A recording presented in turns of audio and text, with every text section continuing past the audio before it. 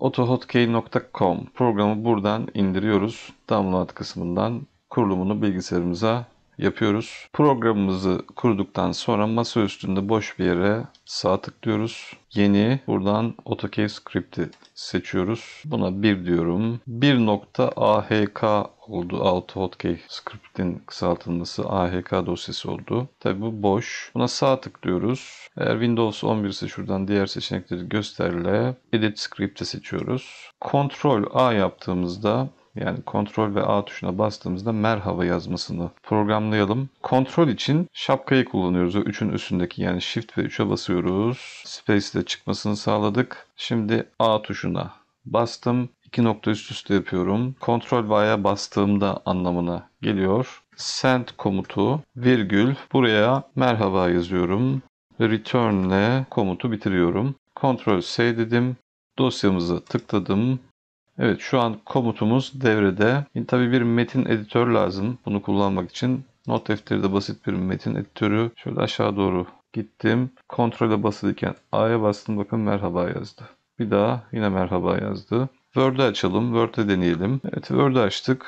Kontrol A'ya bastım. Gördüğünüz gibi yine merhabayı buraya yazmış olduğu sadece A'ya bastığında veya sadece kontrole bastığında bir şey olmuyor. Kontrole ve A'ya bastığında merhaba yazıyor. Tabi herhangi bir metin editöründe değilsek, masa üstünde bir yerdeysek kontrol A'ya bastığımızda herhangi bir şey çıkmayacak. Bu kontrolün çalışması için metin yapıştırma olduğundan mutlaka bir metin editörün içinde çalışmanız gerekiyor. Bu sefer A değil de B'ye bastığımızda yazsın. Sadece şurayı B yapmam yeterli. Ctrl C ile kaydettim ve dosyayı tekrar çalıştırıyorum. Şimdi deneyelim. Ctrl B'ye basıyorum. Merhaba yazıyor. Ctrl A'ya bastığımda artık hepsini seçiyor. Kendi görevine geri döndü. Ctrl A devre dışı oldu. Dikkat ederseniz Ctrl A tüm metini seçme görevindeyken demin ben Ctrl A'yı merhaba diye kodladığım için o görevi terk etmiş oldu.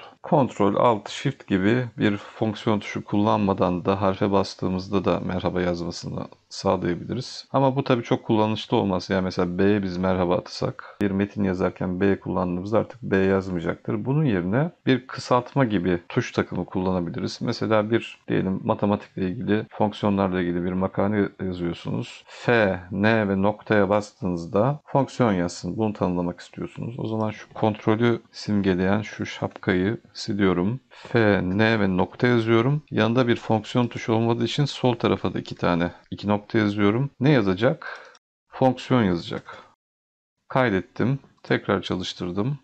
Şimdi aşağıya geldim. F, N ve noktaya bastım. Enter'e bastığımda bakın fonksiyon oluyor. F, nokta enter fonksiyon oldu. Tabi bu böyle basit bir örnek oldu. Daha uzun şeyleri kısaltabilirsiniz.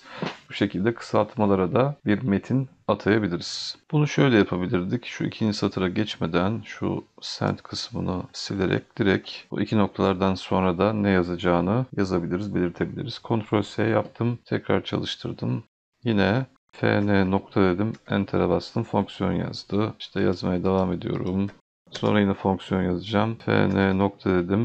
Enter'a bastım yine fonksiyon yazdı. ESC tuşuna bir görev atayalım. ESC tuşu özel bir fonksiyon tuşu. ESC diye direkt yazıyoruz.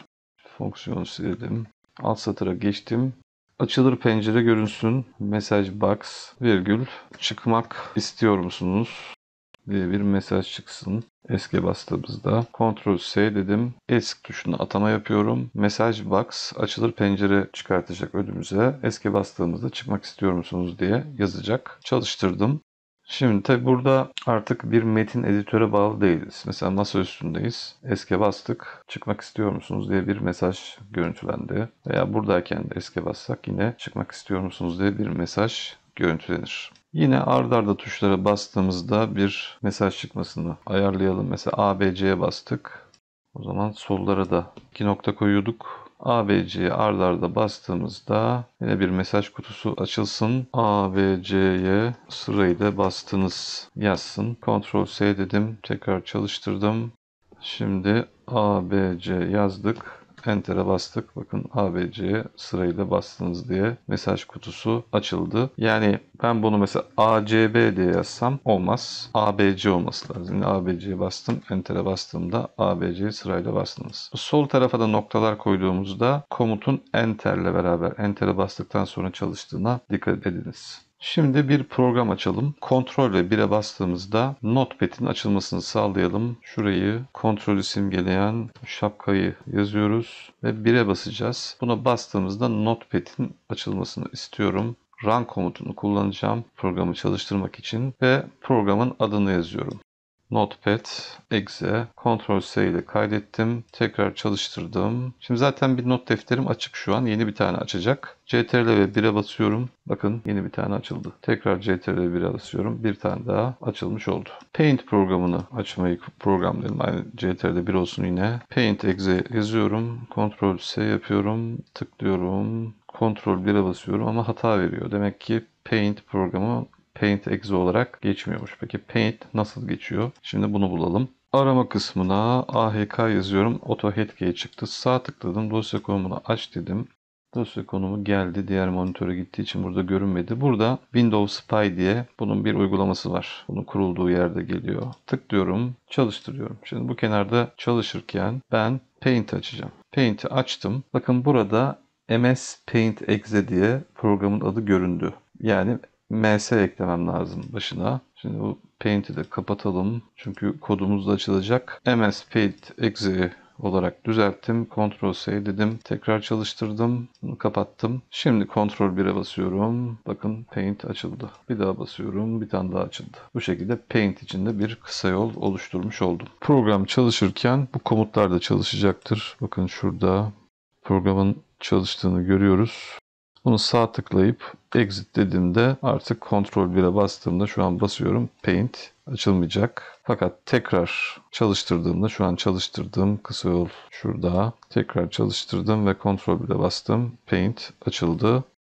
Yine dediğim gibi kapattığımda kısa yollar artık çalışmayacak. Müzik